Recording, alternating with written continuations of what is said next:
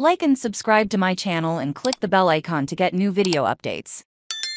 Paper Empire heads to Saudi Arabia, BBC acquires Clean Sweep. Yousry Nasrallah Cairo Honor and Telfaz11 make major acquisitions Global Brief Cryptosaurus Paper Empire wraps up filming for season 3 in Al Saudi Arabia. Cryptocurrency drama Paper Kingdom, Saudi Arabia's growing film hub and location, will shoot the entire 10-episode third season in Alula. Among the star-studded cast, created and directed by Robert Gillings includes Robert Davi, Denise Richards, Kelsey Grammer, Carol Alt, Helena Mattsson, Wesley Snipes, Anne Archer, Richard Grieco, Robert Knepper, Steve Guttenberg and many other guest stars. The action drama series is being produced by Robert Gillings Productions, Tadros Media Group, and Inner Circle Films.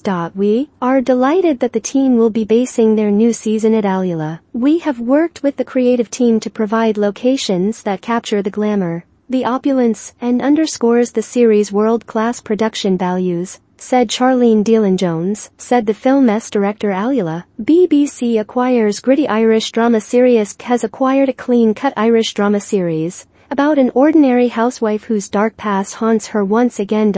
Starring Charlene McKenna and Gary Tishke produced Preacher Clean Up. Shelley makes the fateful decision to kill her former accomplice when he reappears and threatens to expose her. Then Shelley's detective husband is tasked with finding the killer and the pressure mounts. Produced by Shinawil and Incendo, the drama airs on BBC 4 and was acquired by ZDF Studios. Clean Sweep is a gripping psychological thriller BBC viewers will be delighted with Shelley and her handling of all the ramifications of her secret life, said Sue Deeks, who heads up program acquisition for the national broadcaster. The Cairo International Film Festival will honor Egyptian director Yousry Nasrallah with the Golden Pyramid Honorary Lifetime Achievement Award at its upcoming 45th edition, taking place from 15 to 24 November. The late director Youssef Chahine, best known internationally for works such as El Medina, Sun Gate, After the Fight, including recent feature films Brooks,